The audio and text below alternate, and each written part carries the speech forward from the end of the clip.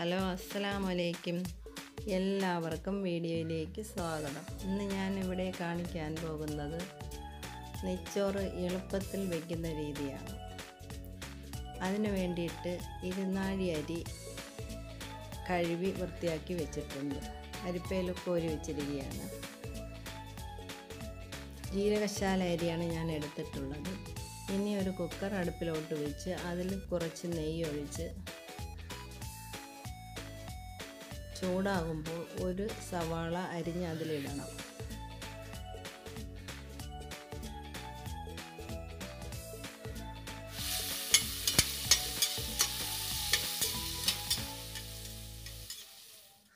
അതിലേക്ക് ഒരു ടീസ്പൂൺ ഇഞ്ചിയും പച്ചമുളകും വെളുത്തുള്ളിയും ഇട്ട് കൊടുക്കണം.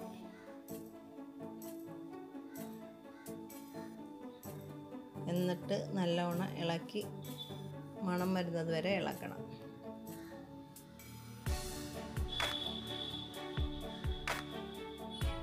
ഒരു കഷ്ണം ഇഞ്ചി നാല് പച്ചമുളക് ഒരു അഞ്ചാറ് വെളുത്തുള്ളി. ഇത്രയാണ് ചതച്ചിടുന്നത്. മൂത്ത് വരുമ്പോഴത്തേക്കും അതിലേക്ക് അരിയുടെ ഇരട്ടി വെള്ളം ഒഴിച്ചു കൊടുക്കണം. രണ്ട് ഗ്ലാസ് അരിയാണെങ്കിൽ നാല് ഗ്ലാസ് വെള്ളം ഒഴിച്ച് ഉപ്പും ഒഴിച്ച് ഒരു മുറി നാരങ്ങയും പിഴിഞ്ഞൊഴിക്കണം. അതിലേക്ക് വെട്ടി തിളയ്ക്കുമ്പോൾ വെള്ളം വെട്ടി തിളയ്ക്കുമ്പോൾ അതിനകത്ത് അരിയിടാം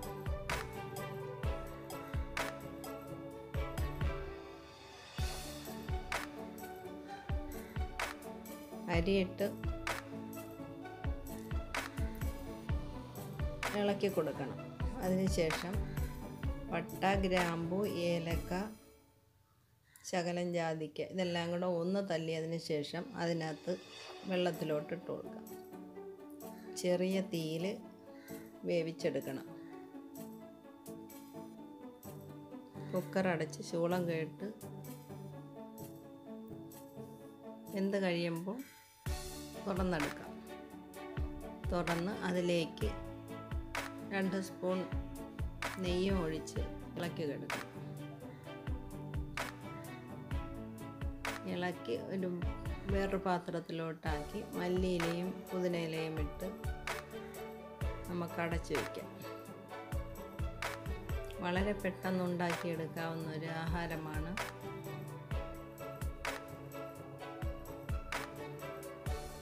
കൂടുതലും സാധനങ്ങളൊന്നും ചേർത്തിട്ടില്ല. എപ്പോഴും വേണമെങ്കിലും ഉണ്ടാക്കി നമുക്ക് ഉപയോഗിക്കാം.